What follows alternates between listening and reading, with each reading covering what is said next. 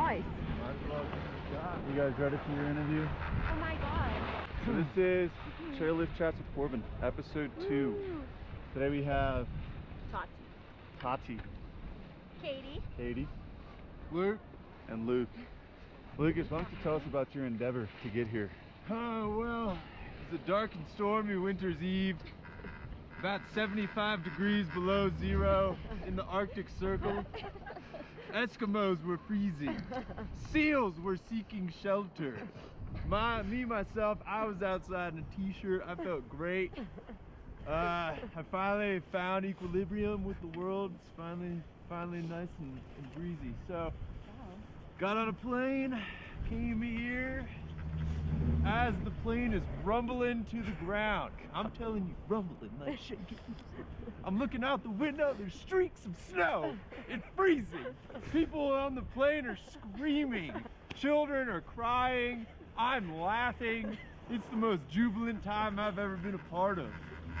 We get to the ground, there's an audible cheer that erupts throughout the entire aisles. Moms are crying and holding their babies. Babies are laughing in happiness. Me, I am crying now. It's a whole roller coaster of emotions that go through us. And He's also on his period. Yeah. Some woman sees me, gives me chocolate. All things are mended. Uh, I get to the the airport. I'm about ready to go. Things are feeling good, you know, ready to go have a nice steak dinner that Corbin has made for me. Except for it wasn't steak at all. He broke it to me that it was just a microwave meal that he had made. And uh, realized my bags weren't here. So then I had to go on a shopping spree.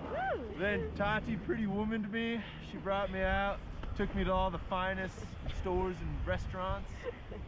And uh, now we're skiing a couple days in Sun Valley where it is incredibly overcast. Can't see a thing out here. Yeah, it's a true story. Every single bit of it. My helmet is dropping back. Oh, I meant to tell you that, I forgot. Yeah, your helmet's on. on. I was thinking this is loose. I thought you said you think your helmet's on backwards. And I was like, that is impossible. All right, well, thank you for that amazing intro, Lucas. That was, uh, Okay, welcome. can't ask much more than that. Now that we're like pretty much done with the ride, I guess we'll just close it out. We'll try again in a little bit. This is She's nice and safe. Safety is Ow, this is in my mouth. Thank you. Keep that thing strapped. There you go. Being taken such good care of. How'd you feel on that run? Wait, guys, let's go down this. See you later.